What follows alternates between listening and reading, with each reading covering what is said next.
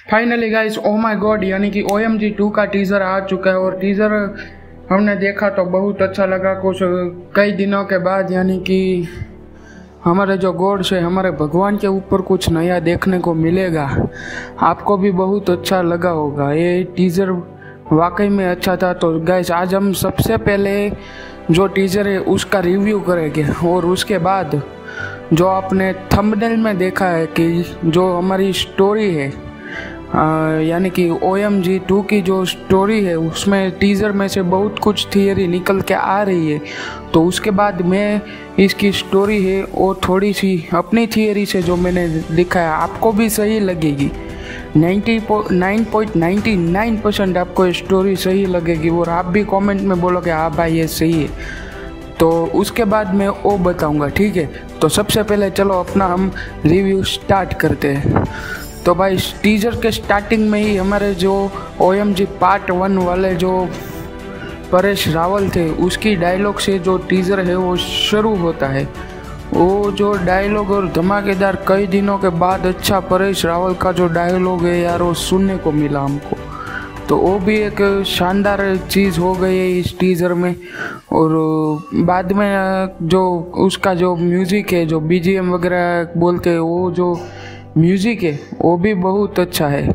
और उसका जो बास वगैरह म्यूज़िक का है, हम कान में ईयरफोन डाल के सुनते हैं तो उसका भी बहुत मज़ा आता है। माना कि कुछ कुछ शॉट में उसकी कलर ग्रेडिंग में मेरे को लगा कि इसमें ऐसा करना चाहिए, उसमें पर कोई बात नहीं गई हमको कंटेंट चाहिए। कई दिनों से हमने अच्छा कंटेंट नहीं देखा था।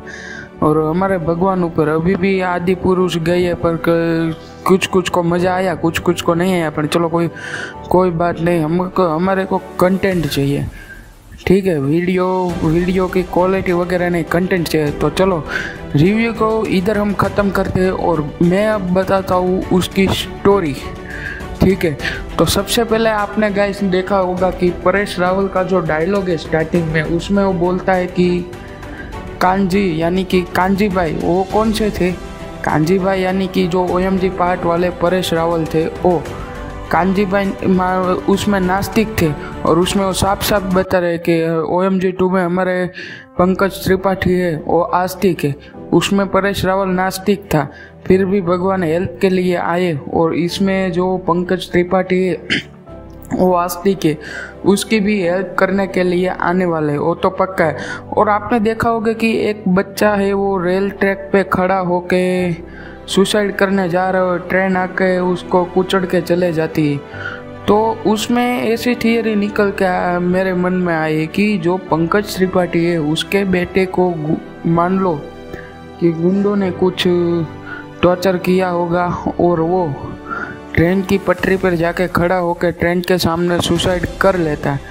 तो एक थियरी वो भी हो गई और उसके लिए जो पंकज त्रिपाठी है, वो भगवान को मानते और आशा रखते हो गए कि भगवान मेरे को बच्चे को बचाना नहीं है वो और दूसरी बात हो गई, पर वो अपने बेटे के न्याय के लिए कोर्ट में लड़ रहे हैं। यानी कि अपना बेटे का जो जस्टिस है, वो मांग रहे हैं, उसको मिल नहीं रहा है। कोई उसका हाथ पकड़ने को मान लो कि तैयार नहीं। इसलिए अक्षय कुमार यानी कि ओ एम जी वन में जैसे स्कूटर के एंट्री पे आया था अक्षय कुमार।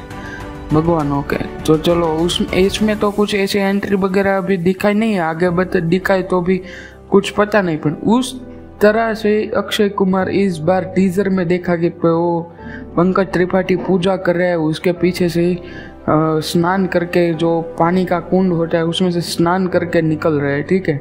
तो कुछ ऐसा भी हो रहा है, मेरी थियरी हो गई है, ठीक है? मन में मेरे को ऐसा फील हो रहा है। ओके तो आप भी कमेंट्स करके बताना कि ये जो थियरी है वो आपको कैसी लगी? और जो मेरा मन का विचार है, वो थी यानी कि विचार ही है कि ऐसा कुछ आगे होने वाला है, ठीक है? तो वो आप मेरे को कमेंट्स करके बता देना और लाइक शेयर तो आप करते ही नहीं हो तो ये भी ज़रूर कर देना।